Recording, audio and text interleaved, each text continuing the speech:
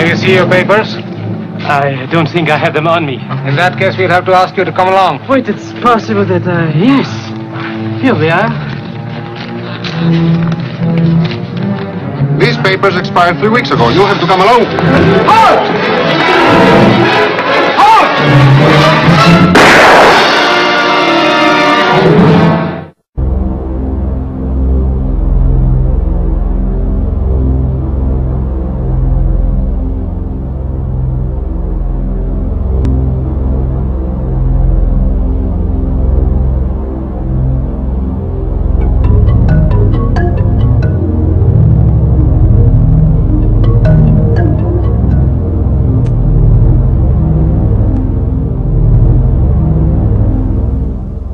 It is time to wake up, America. These ID cards are not about defeating terrorism, but they are all about controlling the American people. I arranged an interview with Katherine Albrecht, a leading authority on the RFID chip. Her book entitled Spychips is the definitive book on this subject. I wanted to find out just how dangerous these chips are to our liberties. RFID is a technology that uses tiny computer chips the size of a grain of sand or even smaller, hooked up to miniature antennas to transmit information about items at a distance. Back in 1999, Procter & Gamble, Gillette, and MIT got together to find a way to commercialize this technology and make it small enough, make it efficient enough, and make it low cost enough to essentially their dream is to put one of these tiny uh, computer chips on every physical item manufactured on planet Earth. The latest technology for identifying people at the point of sale, for identifying people when they make purchases, is actually the implantable chip that you can actually embed directly into human flesh. Uh, it's a tiny glass capsule about the size of a grain of rice. It contains an RFID computer chip uh, with a coiled antenna, and it can transmit information also at a distance. Homeland Security folks, uh, the Department of Defense, and others have uh, expressed an interest in being able to more closely monitor the U.S. populace. And one way to do that, of course, would be being able to determine who buys what and uh, where they take those things.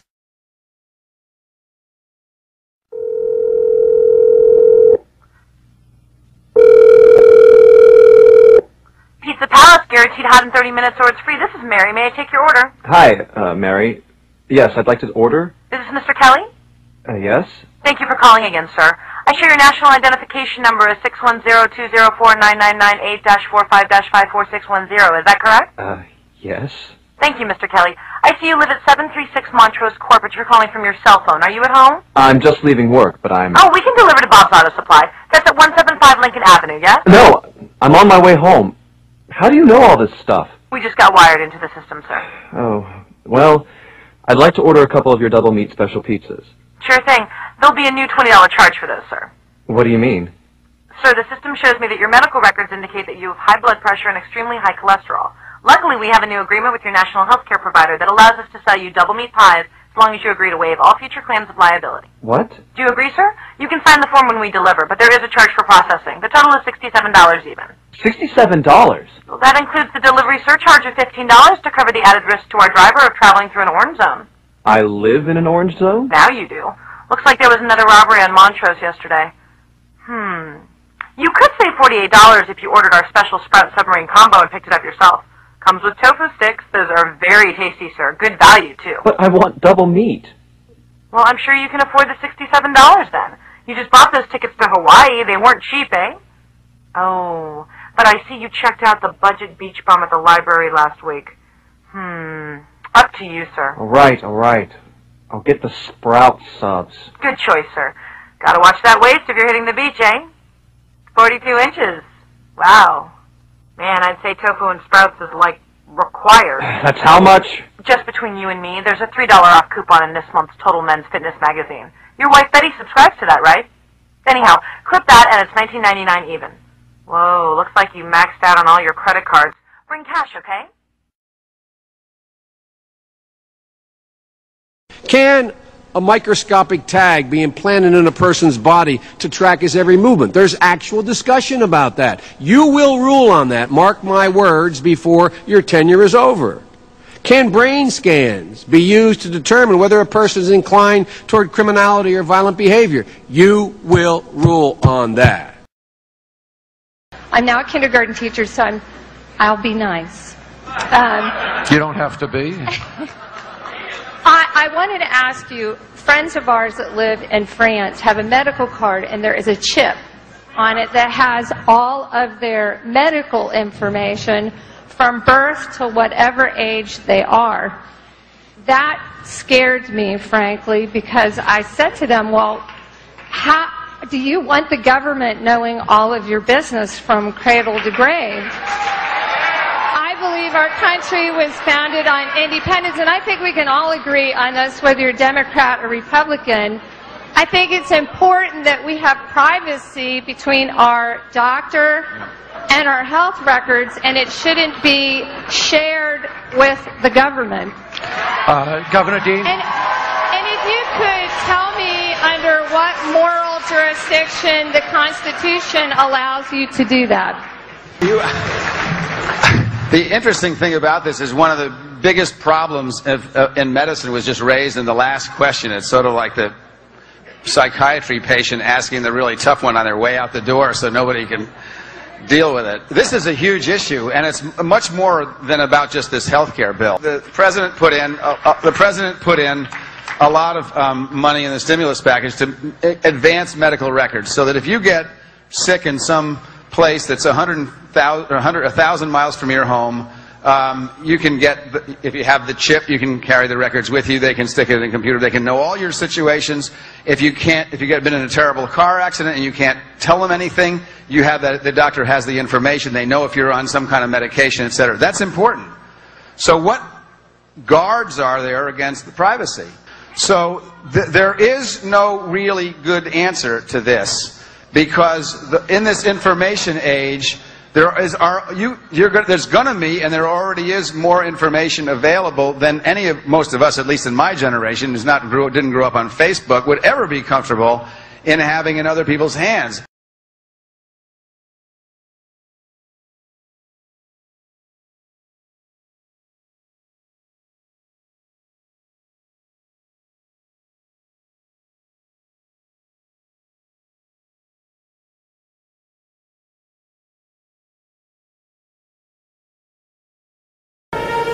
Everyone who refused to worship the idol of the beast was put to death. All people were forced to put a mark on their right hand or forehead. Whether they were powerful or weak, rich or poor, free people or slaves, they all had to have this mark, or else they could not buy or sell anything. This mark stood for the name of the beast and for the number of its name. You need wisdom to understand the number of the beast. But if you are smart enough, you can figure this out.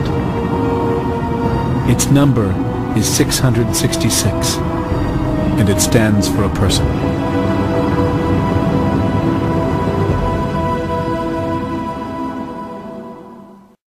The implant microchip will store data information such as fingerprint, footprint, eye scan, DNA genotype, financial status, and personal history. No one will be able to buy or sell without it. One will identify the individual with the mark. Oh yes, the ID card will also be coded with numbers. And the number is... 600, three score, and six.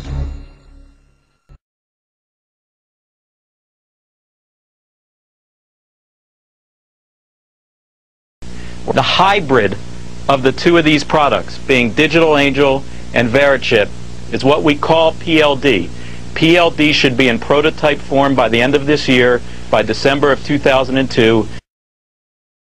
We have a Florida family who are really pioneers in a brave new world. They have volunteered to be the first ever to have microchip identification devices implanted into their body. After 9-11, I was really concerned um, with the security of my family. In the 1960s, Professor Jose Delgado took a normally hostile bull and implanted electrodes into its brain. Electrodes that could be activated by a radio transmitter. His objective was to see if stimulation of the bull's midbrain could short-circuit the rage signals. stopping the bull before it reached the matador. After the bull had recovered from the implantation and in mid-charge, the button was pressed. The bull's aggression ceased and the bull's aggression ceased instantly.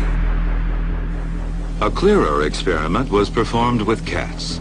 In this classic example, the hypothalamus, the rhythm maker, was implanted with electrodes. Could it be responsible not just for rhythms, but also for rage? The switch is turned.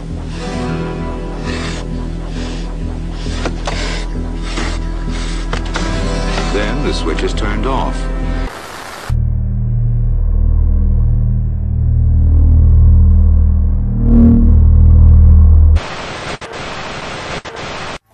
Science fiction became reality today. The Food and Drug Administration approved a computer chip that's implanted into people. You've Seen it before, right out of Hollywood.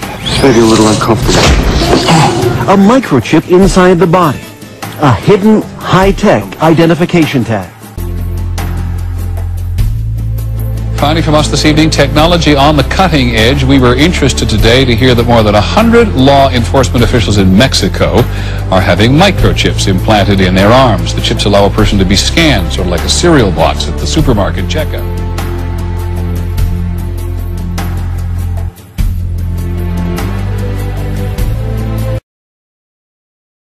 Woe to you, O earth and sea, for the devil sends the beast with wrath, because he knows the time is short.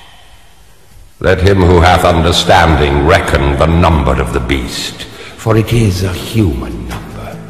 Its number is 666.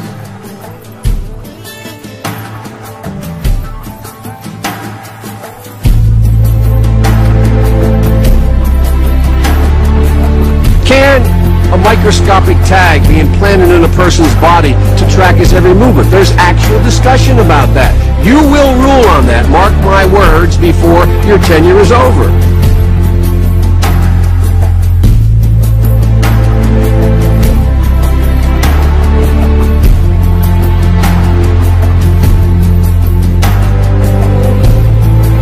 This is the microchip that could one day be implanted under the skin of every single American.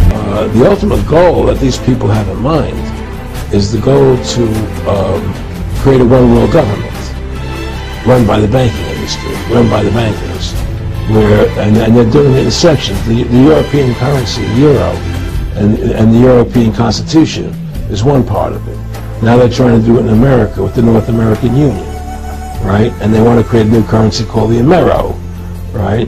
And uh, the whole the, the whole agenda is to create a one-world government where everybody has an, RFID chip implanted in them. All money is to be um, in those chips, right? There'll be no more cash. And this is getting me straight from Rockefeller himself. This is what they want to accomplish. And all money will be in your chips. And so, any so instead of having cash, anytime you have money in your in your in your chip, they can take out whatever they want to take out whenever they want to. If they say you owe us this much money in taxes, they just deduct it out of your chip digitally. Total control. Total control. And if you're like me or you, and you're protesting what they're doing, they can just turn off your chip. And you have nothing. You can't buy food. You can't do anything. It's total control of the people. And that chip's connected to a database that has your purchasing records, what you do, what you Everything, sell. everything is in there, you know? And so they, they want a one world government controlled by them, everybody being chipped, all your money in those chips, and they control the chips, and they control people, and you become a slave, you become a serf these people. That's their goal, that's their intentions.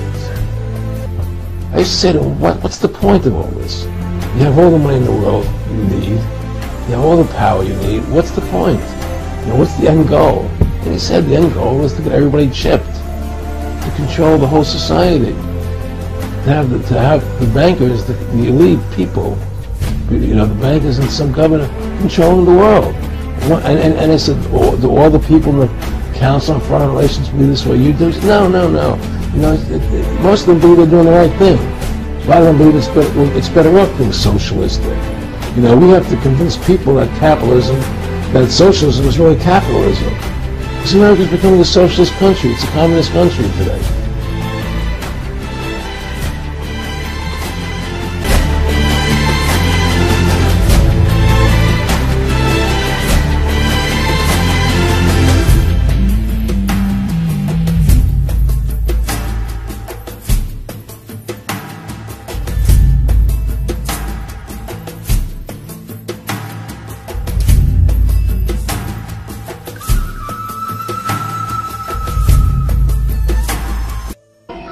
While you were sleeping, everyone in the city was installed code. It was a brilliant idea by Dr. Cocteau that an organically bioengineered microchip be sewn into the skin.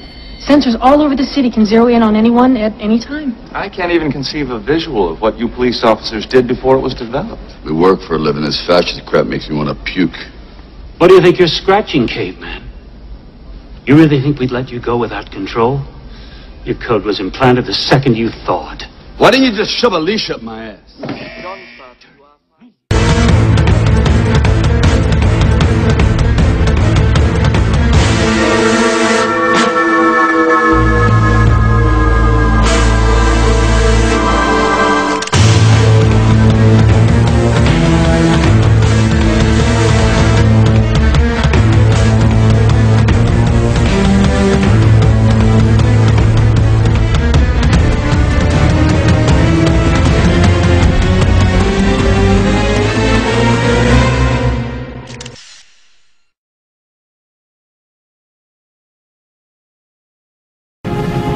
Finally, a third angel came and shouted, Here is what will happen if you worship the beast and the idol and have the mark of the beast on your hand or forehead.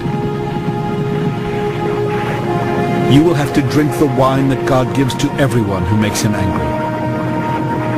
You will feel his mighty anger, and you will be tortured with fire and burning sulfur, while the holy angels and the Lamb look on. If you worship the beast and the idol and accept the mark of its name, you will be tortured day and night. The smoke from your torture will go up forever and ever, and you will never be able to rest.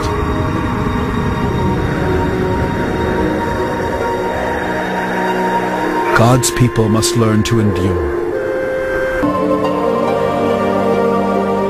The first angel emptied his bowl on the earth.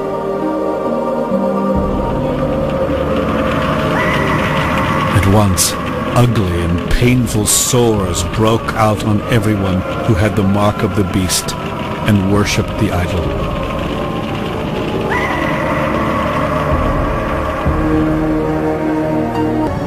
And because of their painful sores, they cursed the God who rules in heaven.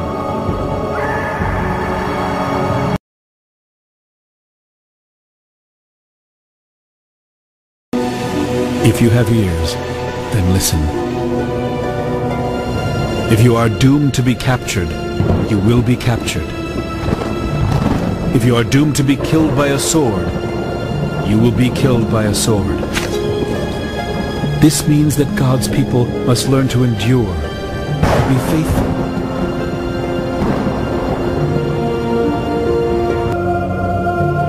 I saw thrones, and sitting on those thrones were the ones who had been given the right to judge.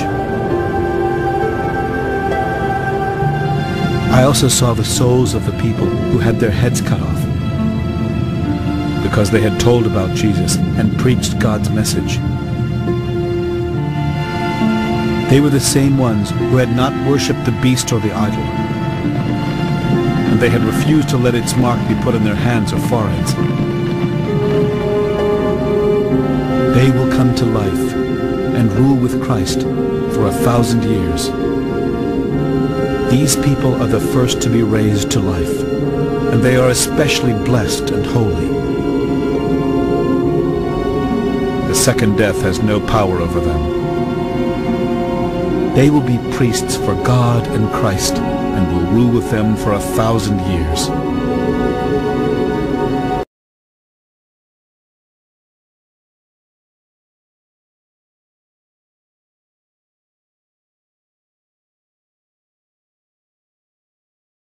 Something has to change, though. They have to find a better way to identify the bad guys, or the rest of us are going to stay home and watch the world go by on televisions. But we need some system for permanently identifying safe people.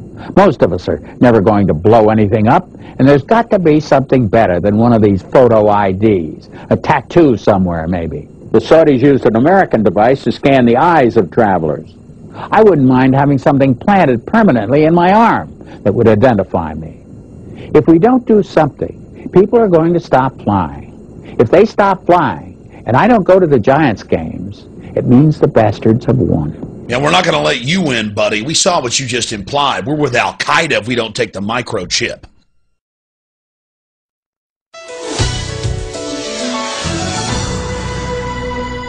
In medical news tonight, a chip the size of a grain of rice could save your life. Now, what happens if you're in a bad accident and can't communicate with emergency workers and doctors? New microchip technology now makes it possible for the emergency room staff to find out about your medical history at the touch of a computer key.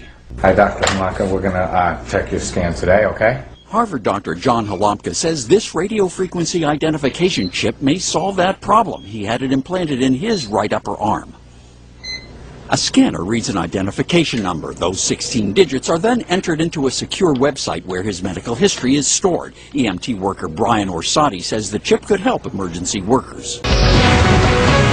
Verichip, subsidiary of publicly traded Applied Digital, has added Tommy Thompson to its board of directors. The company hoping the former Health and Human Services Secretary can help accelerate the use of RFID for healthcare and security applications. Joining us to discuss the future of RFID and his plans for Verichip, Tommy Thompson, former Health and Human Services Secretary, and Scott Silverman, Chairman and CEO of Applied Digital. Gentlemen, thank you very much for uh, being with us. Well, thank you. Uh, it's an honor to be on your program. Ms. Thompson, I'll start with you. Um, uh, we're, we're doing a poll today. Would you have one of these things implanted in your arm or, I don't know, under your scalp or wherever you put it? you put it in your right arm, and it's very small and it doesn't uh, bother you at all, but it certainly is going to allow you to identify uh, the, who you are, uh, protect your child. If uh, you have a new child that's born in, in a nursery, you can protect that child from having somebody walk off with it. You can also protect your loved ones in a nursing home so that uh, you can put a bracelet on and identify that individual and be able to find that individual if that person wanders away. But I certainly would.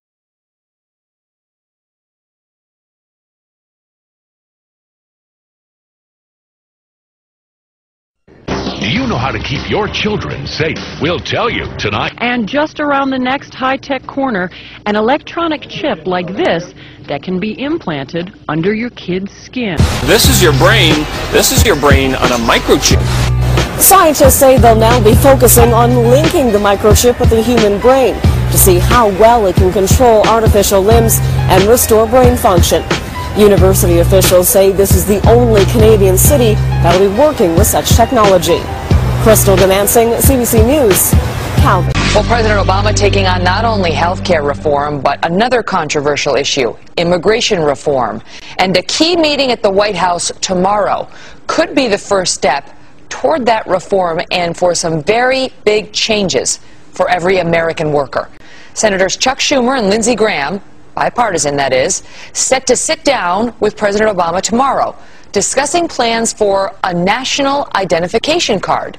Now, this thing is meant to crack down on illegal workers, but our next guest says it could crack down on you and your privacy. Congressman Ron Paul is a Texas Republican. He's opposed to this card. Congressman, afternoon to you. I would say the problems of every American citizen carrying their papers for wherever they go is a much worse problem than illegal immigration. People over this decades now in, in this country, there have been some who have wanted this national ID card, and they're looking for every opportunity to do it. And this is it. I mean, who knows what will come of it? My guess is they'll probably have a GPS chip in there so that they can measure everybody, every instant, no matter where they go. So to me, it violates the whole principles of privacy, the principles of the Constitution, the principles of the Republic, and to me, as a uh, gross distortion of what we should be doing. It's part of an authoritarian society, and uh, dictatorships have this, but not a, a, a, a republic. We're okay, but, but tell me how. Tell me how it's invasive because what, what Schumer and Graham are proposing, uh, according to what I read, is uh, your ID card would have either your fingerprint, your thumbprint on there, or it would have a, a reading of the veins in the back of your hand, and you'd have to be scanned by your prospective employer, and that way, if you know, if it came up that you weren't legal, they would they would catch you uh, by by the scan. Coming up next, how far would you go for better security? How about an ID implanted in your arm? Who's actually asking people to do that? You might be surprised. Also, moving along now to tonight's eye opener, what would you do if your boss said you had to have a computer ID chip implanted under your skin or you'd be fired? Well, we're not there quite yet, but one Ohio company is doing something that has some people wondering if we're headed down that road. There's my chip right there. So you can actually see it. It's about the size of a grain of rice, and it feels like it too. But what that tiny chip can and can't do has become the source of much concern and confusion. I was in a grocery store and uh, a couple ladies said, hey, you're the guy with the chip in your arm, aren't you? You know, run across the scanner so we can see if we get a, a discount on groceries. Sean Darks is the CEO of CityWatcher.com, a small company in Cincinnati that's the first U.S. business to use chip implants in its employees. What you're looking at here is recorded footage back in August of a number of drug deals. City Watcher provides video surveillance for clients and for the police. And the video that it collects, like this drug bust, is the company's biggest asset. And they say they need to keep it under more than just lock and key. You might have one of these where you work, a key card that allows access to different parts of the office. A lot of businesses use them, but here at City Watcher, there's one particular room where you need either the implanted chip in your arm or a keychain. And Sean says the choice is up to the employee. City Watcher employees Chuck Gordon and Kari Williams require access to the secure server room where the video is stored. One got the implant, and the other decided not to. He carries the chip in a keychain instead. That's one of the reasons that I don't want to do it. It's just, it's creepy to have knowing that something is there the entire time. and that's the only time it activates. So, other than that, I really have no worries about it. Chip implants have been common in pets for several years, giving the owner peace of mind that their lost animal could be identified. And for retail giant Walmart, the chips are used as smart barcodes to keep track of thousands of products. But for use in people, well, privacy advocates think we shouldn't open that door. The concern is a privacy concern because when that chip is placed in you, it becomes a permanent form of identification. If it were a bracelet, for example, or an ID card, you might choose not to carry it or not to wear it, but if it's in your skin, you're pretty much stuck with it. It is the case that chips have been hacked. It's possible to duplicate them. It's possible to commit fraud with them. And those are also risks uh, for people who are using this chip. Three out of the five City Watcher employees who need access to the video room have opted to have the chip implanted. The other two carry their chips on a keychain. Like it or not, we're in that brave new world, and it might not be long before your boss is literally getting under your skin.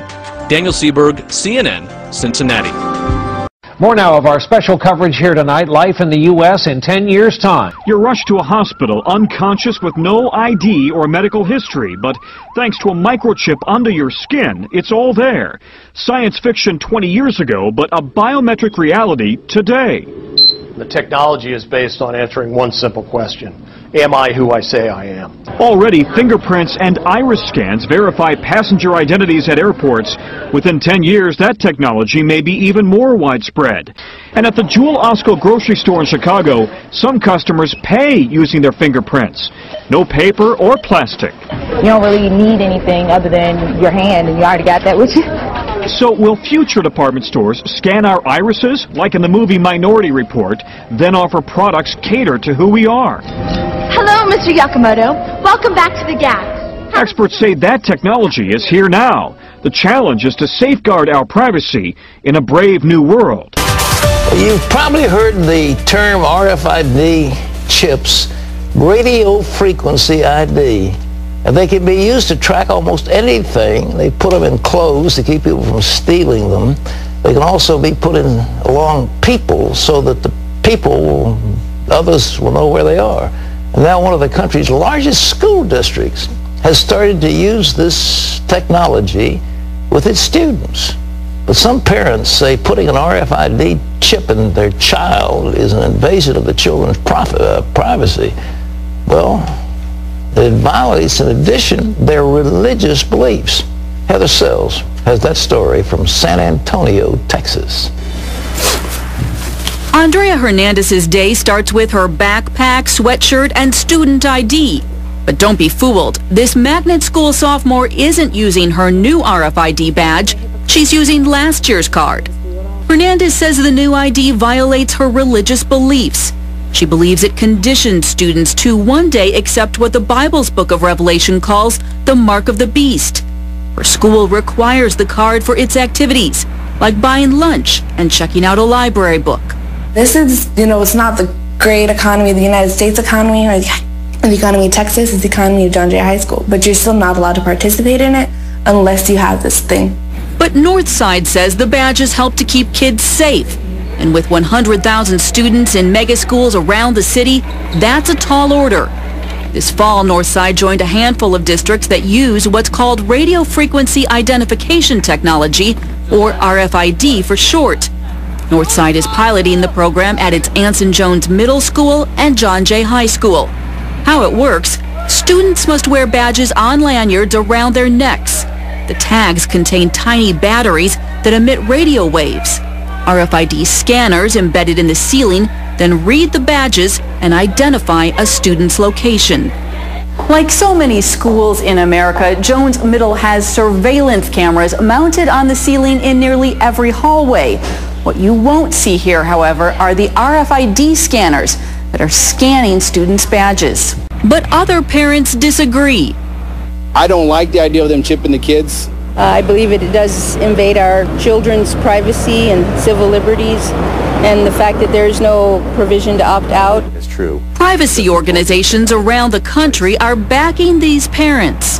You know, the ultimate concern is here that we don't want to turn into a surveillance society. In our, in our in our culture, in our legal traditions, the government doesn't watch you unless it has particular reason to suspect that you are involved in wrongdoing. This type of technology implicates the freedom of speech, the right to freely associate, religious freedoms. Uh, imagine, for example, a student being dissuaded from attending a political interest group because she fears that the tracking technology will alert the principal or other members of the school administration where her political affiliations align. But the school district says there's no invasion of privacy and that civil liberty organizations don't get it. We reject their argument. The district has no opt-out policy, which may discourage dissenters from speaking out. District spokesman Pascual Gonzalez says when the program is fully operational later this month, the badges will be mandatory. It will be a requirement of that school for those students to wear their lanyard and their ID card. If they refuse, then perhaps that's not the school for them. And Northside can throw, you know, whatever they want at me, but uh, in the end, it, it doesn't really matter because life is bigger than just Northside. You know, it's bigger than just John Jay High School. But this program is bigger than what Northside is making it out to be. Thanks, Heather. You know, the Bible says that the time will come that there's a worldwide uh, dictatorship and that people can't buy or sell without, quote, the mark of the beast. Well, we have technology now where there can be a uh, tattoo on a hand or on a forehead or on the southern part of the body where the, with the incredible explosion of computer power, we can track virtually the entire population of the world. We can, the, the government can. And uh, it, it's a frightening thing to see Big Brother, if you ever read that George Orwell, you know, fictional book, that people can't move. They can't go out of their homes. They can't travel. They can't do anything without Big Brother watching. Well, it just seems like this RFID uh, concept is like the nose of the camel under the tent. It's just coming a little bit at a time, and it seems so benign. But the time can come that we will be conditioned to this sort of thing. So, far be it for me to be an advocate and booster of the ACLU, but on this one, they are right.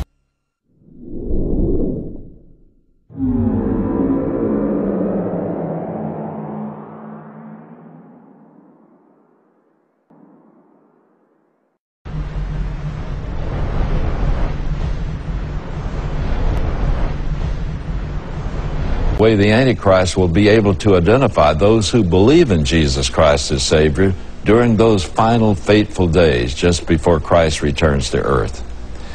The only ones who will have an adequate reason to reject this number will be those who will not worship the Antichrist.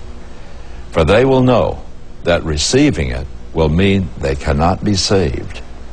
God predicts the fate of those who reject the Antichrist number. Most of them will be martyred. John speaks of these martyrs standing before God's throne. And I saw something like a sea of glass mingle with fire, and those who have the victory over the beast, over his image, and over his mark, and over the number of his name, standing on the sea of glass, having harps of God. The sea of glass is a symbol of the peace and serenity of these martyrs who have come through the fire of trials and now stand in the Lord's presence in heaven. They have achieved the victory of eternal life with Him.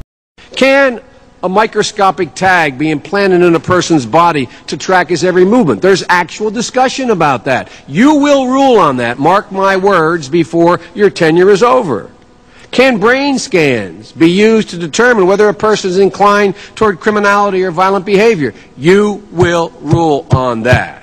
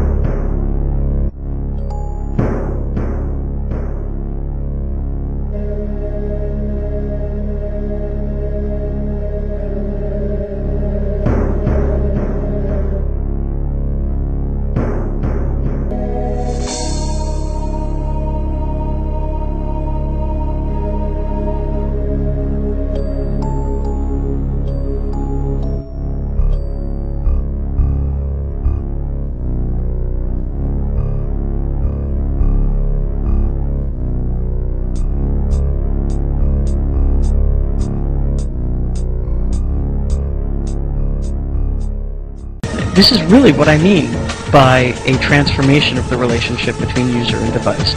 This person is not a user anymore in any real sense of the English word. They are a subject.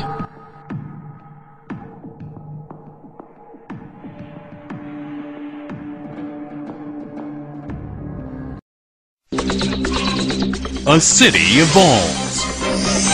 Ancient Babylon. Ancient Rome. 18th century London. Urban civilization is evolving.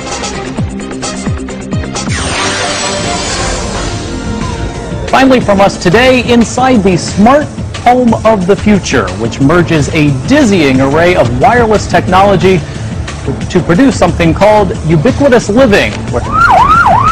The year is 2017. You're rushed to a hospital unconscious with no ID or medical history, but thanks to a microchip under your skin, it's all there. Science fiction 20 years ago, but a biometric reality today. Well, here I am at the meat counter. This is what the shop likes to call its intelligent freezer. Why do they think it's so clever? Well, all the packets of meat here contain a microchip. An everywhere world, as Adam Greenfield calls it, is a world in which computers are embedded and merged seamlessly everywhere in the environment. Radio frequency identification tags communicate their position and other information constantly in a vast wireless network. Everyday objects become searchable as if they were part of an interconnected World Wide Web. In this Internet of Things, scientific management and surveillance of people and the environment we inhabit becomes possible, and marketers' ultimate dreams come true.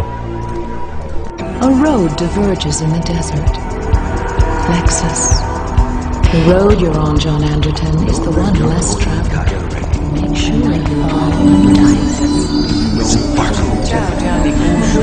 Good evening. You can move the old fashioned John Anderton. Twilight Styles provides gourmet cuisine. John Anderton. You can use a Guinness right about now. As computer chips become smaller and their processing power increases exponentially, ubiquitous computing has become a practical reality. As reported by Wired News, ubiquitous systems are to be rolled out in New York City in 2009. The Architectural League of New York will commission five to seven teams to develop urban interventions to be installed in and around New York City in spring 2009 that will imagine alternative trajectories for how various mobile, embedded, networks, and distributed forms of media, information and communication systems might inform the architecture of urban space and or influence our behavior within it. Consumer convenience is a central selling point for ubiquitous computing, particularly smart home applications of this technology. Finally from us today, inside the smart home of the future, which merges a dizzying array of wireless technology to produce something called ubiquitous living, where access to the web is available anywhere, anytime. In Seoul, South Korea, our Jo Hee Cho visited the U-Home.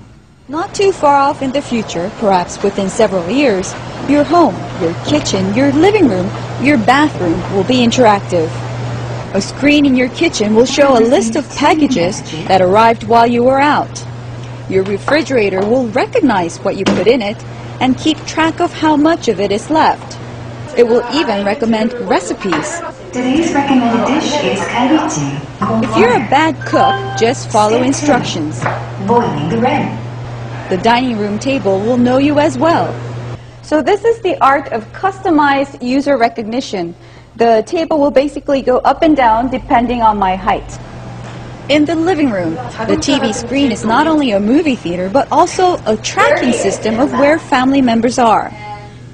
Take the picture frames and Xboxes away. Everything is integrated into this e-table. From games to children's books, this table can load a good-sized digital library. Choose your interior depending on the day's mood, or just add your TV onto the wall.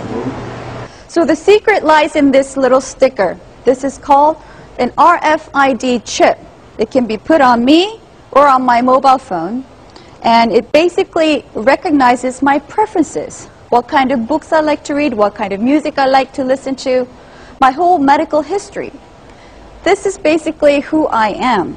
And whether this is a good thing or not, we are at the footsteps of a whole new generation of future lifestyles.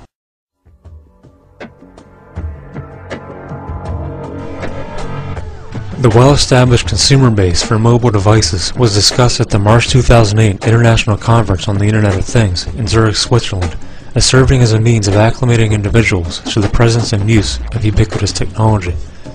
Possible marketing plans were discussed to introduce self-scanning through the use of mobile devices to scan physical products in a manner similar to internet shopping. Andreas Schaller, a senior engineer for Motorola, presented information to the Zurich conference. The next step is to internetable physical objects, connecting people with things and even things with things. The Internet of Things will enable connectivity not just between people and their computing devices, but between actual, everyday things. By enabling connectivity for virtually any physical object that can potentially offer a message, the Internet of Things will affect every aspect of life and business in ways that used to be the realm of fantasy, or even beyond fantasy. To ensure a fast adoption rate, it is necessary to start with low-hanging fruit technologies like barcode scanning by camera, which will become a free feature for mobile devices morphing into high-end camera phones. So far we've seen examples of the consumer layer of ubiquitous computing, which will likely be its most emphasized aspect. On top of this layer sits the incredible surveillance capability of this technology. Video surveillance cameras are an obvious indicator that you are being watched, but the Internet of Things automated surveillance and tracking grid is merged seamlessly and invisibly throughout the entire environment.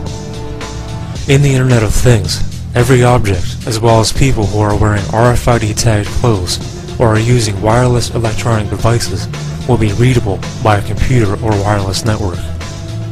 The objects or person's details, exact location, and other information can be obtained electronically by invisible sensors in sidewalks, roads, or doorways.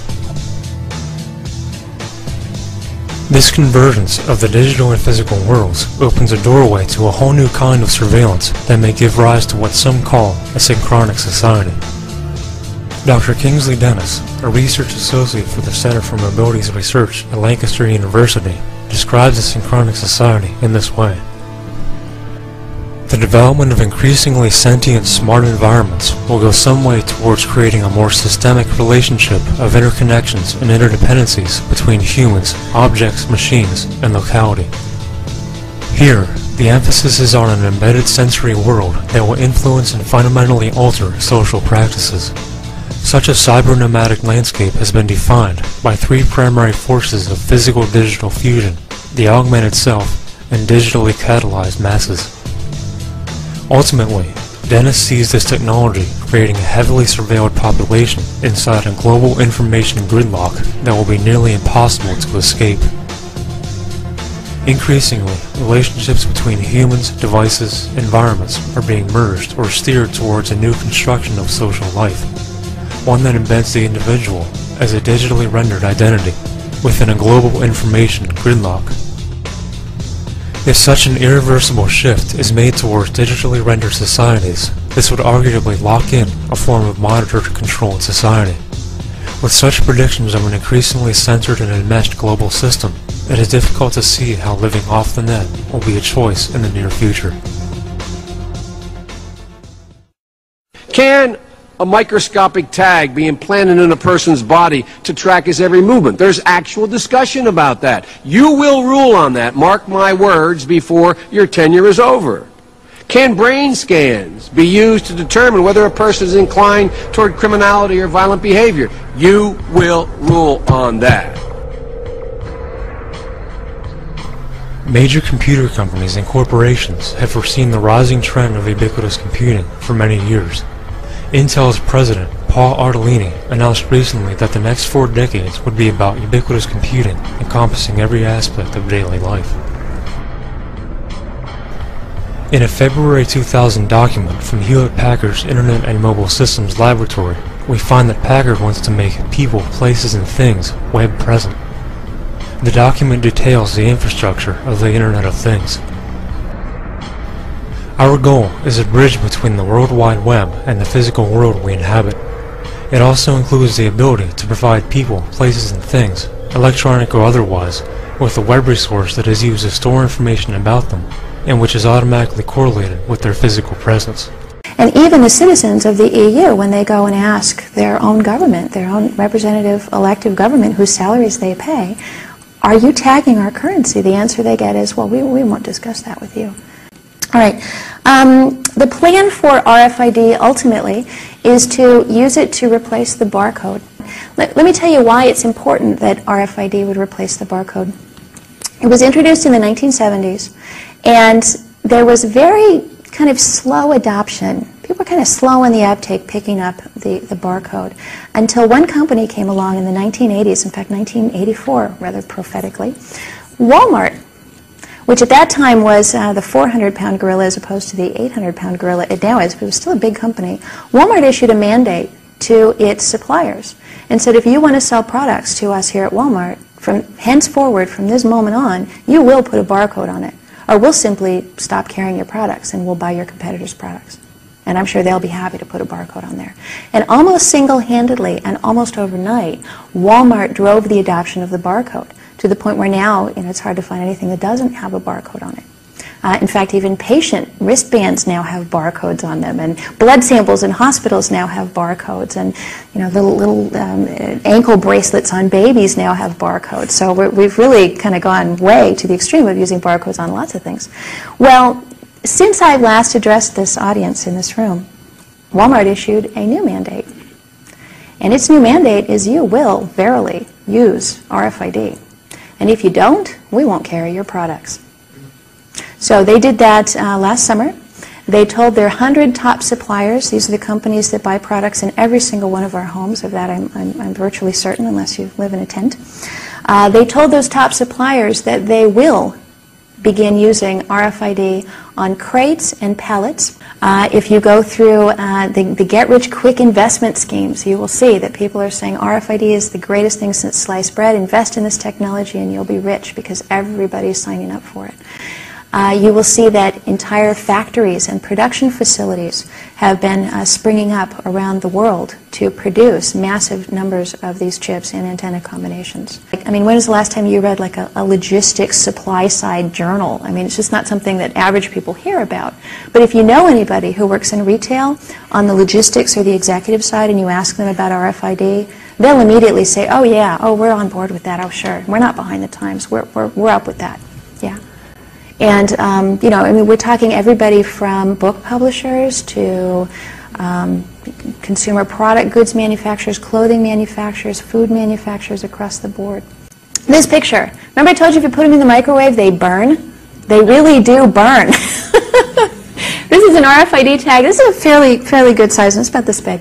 And uh, this is after like three seconds in the microwave. This is not 20 minutes. This is literally three seconds. I put it in and I hit five seconds, and long before I got there, it was like in flames.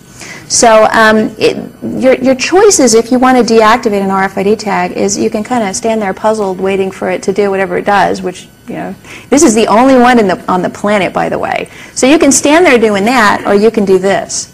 Um, but there's really not a lot of options for consumers to deactivate RFID tags. So really your only choices are remove it, you could cut the antenna off the chip, you can't really crush it, water doesn't, um, doesn't affect some of these, some of these can go through industrial uh, laundering processes and not be destroyed. So there's really, we don't have a lot of options for killing chips.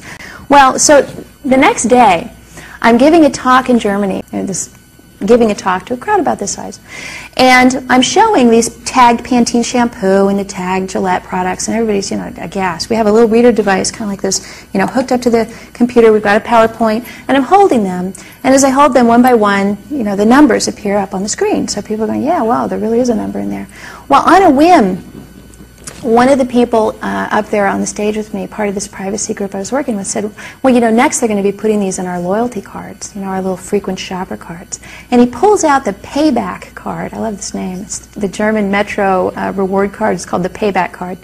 And he says, yeah, right, next they're going to put it in there. And he holds it up to the reader device, and I will be dipped if a number did not appear on screen. Now, what we found out was they had actually hidden an RFID tag and an antenna in people's shopper cards. And they were tracking, tracking people, not just products. And in fact, not only were they tracking people, but they were tracking people from what we could tell as they entered and left the store through those portal devices that they had in the doorway to make sure you weren't stealing the products. They were tagging people right through their wallets, right through their purses. And identifying people. Now, we were scandalized. In fact, what you see at the right here is an X-ray, so you can actually see the antenna going around and around on there. And in fact, people were so upset about this that uh, they forced a recall. It turned out 10,000 people had been given this. And when I heard that, I went, okay, well, now I know why, why IBM is calling these people guinea pigs. So they went into just a regular community, to the regular community grocery store, and, and, and were using it to, to treat people as basically lab rats for their technology. So now the, um, the other thing was, uh, another sort of scandal that I uncovered this past year was something called Frontline Expo. And what it is, is it's a, a trade show where the people who do the supply side stuff, those reader devices you saw, that's where they sell that. So they do all the barcode inventory control management for the people who have to comply with that Walmart mandate. And it looks like this. Um, it's a sort of medium-sized uh, conference. And you'll see, you know, folks there from Philips and IBM and uh, ADT, the, uh, the, the, people who do home security and other things. And I'll tell you, I do not know personally of any retailer in the United States that is admitting to openly using RFID. Now that's actually really good news because what it means is that if we find it, if you actually find it being done, then that's big news. And in fact, it's big news in sort of a scandalous way that they will have to either explain themselves or back away from it. If you have ears, then listen. If you are doomed to be captured, you will be captured. If you are doomed to be killed by a sword, you will be killed by a sword. This means that God's people must learn to endure, be faithful.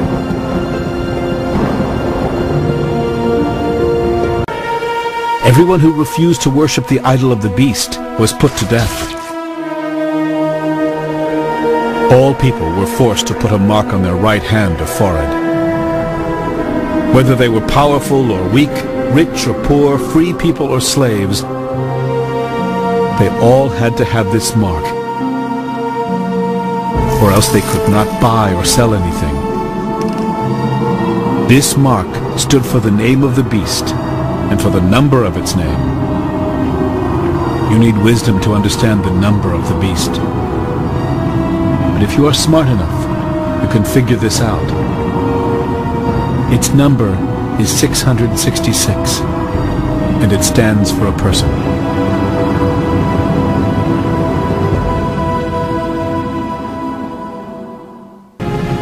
Finally, a third angel came and shouted, Here is what will happen if you worship the beast and the idol and have the mark of the beast on your hand or forehead. You will have to drink the wine that God gives to everyone who makes him angry.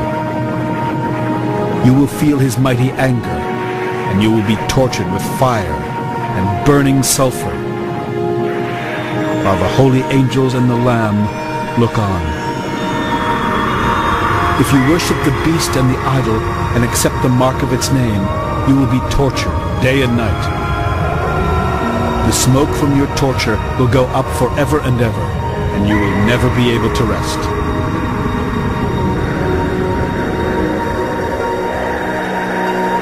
God's people must learn to endure. The first angel emptied his bowl on the earth.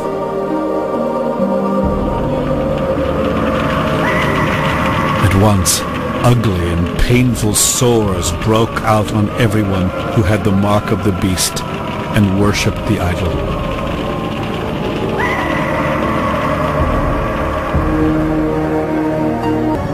And because of their painful sores, they cursed the God who rules in heaven. I saw thrones, and sitting on those thrones were the ones who had been given the right to judge. I also saw the souls of the people who had their heads cut off because they had told about Jesus and preached God's message. They were the same ones who had not worshipped the beast or the idol, and they had refused to let its mark be put on their hands or foreheads. They will come to life and rule with Christ for a thousand years. These people are the first to be raised to life, and they are especially blessed and holy. The second death has no power over them. They will be priests for God and Christ and will rule with them for a thousand years. Yes, God will make his home among his people. He will wipe all tears from their eyes, and there will be no more death, suffering, crying, or pain. These things of the past are gone forever. I will freely give water from the life-giving fountain to everyone who is thirsty. All who win the victory will be given these blessings. I will be their God, and they will be my people. But I will tell you what will happen to cowards and to everyone who is unfaithful, or dirty-minded, or who murders, or is sexually immoral, or uses witchcraft, or worships idols, or tells lies. They will be thrown into that lake of fire and burning sulfur. This is the second death.